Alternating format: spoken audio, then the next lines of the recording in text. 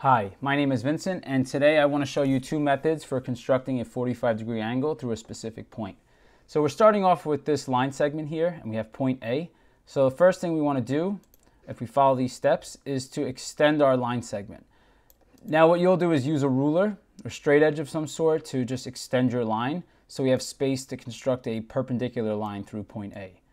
So to construct our perpendicular line, we set the compass on point A and we swing an arc to the right and left of point A so that it hits our original line segment twice. Now the reason why we extended the line is so that it could hit on the left side too, um, just in case your point A is at the beginning of your line segment. So from here, what we want to do is move the compass to the intersection points we just made. And now we're going to have to extend it a bit because that's the only way we're going to generate another intersection point to make our perpendicular line. So we swing an arc from the first point and we move it to the second point, swing another arc so that we could connect point A to this intersection of arcs. So we use a straight edge here to draw a straight line from point A through the intersection of arcs. And now what we just did is construct a 90 degree angle. So to close this out, what we want to do is we're going to bisect this 90 degree angle because if we cut a 90 degree angle in half, we'll have a 45 degree angle. So now we set the compass at point A and we swing an arc to hit one part of the angle and we repeat this process above to hit the other line segment that builds our right angle. So with these new intersection points, we're going to set the compass here and we swing an arc in the inside space here from the first intersection point and we repeat this process from the other uh, intersection point so that we have two intersecting arcs. Now, the last thing we need to do now is connect point A to this intersection of the red arcs.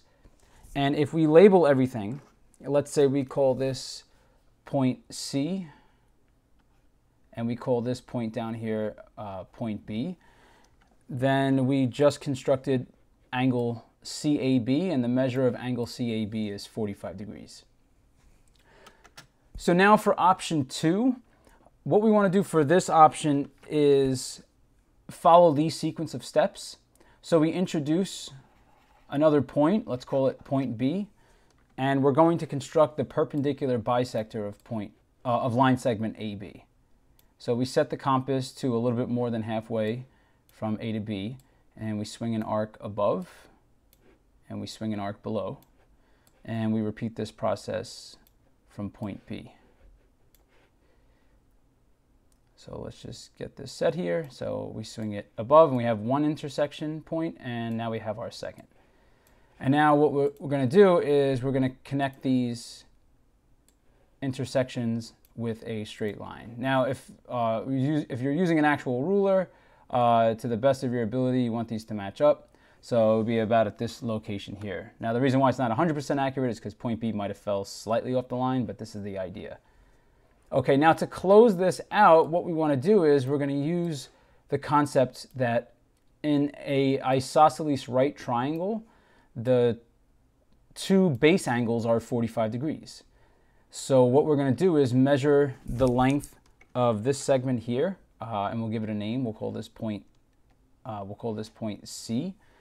And what we want to do is we're going to swing the arc so that we know that we used, and we'll use a different color, that we measured the length of AC.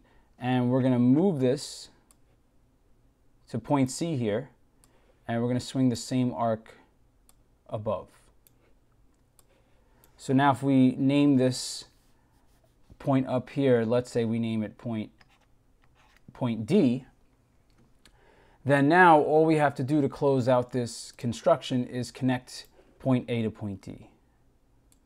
So we connect this here. Now because we constructed a 90 degree angle here and the length of side AC is equal to the length of side DC, that tells us that the measure of angle DAC is equal to 45 degrees. Okay, well this is going to conclude this construction video. If you found it helpful, please click like and subscribe below. And if you have any requests, please uh, leave a request in the comment section below. Thanks for watching.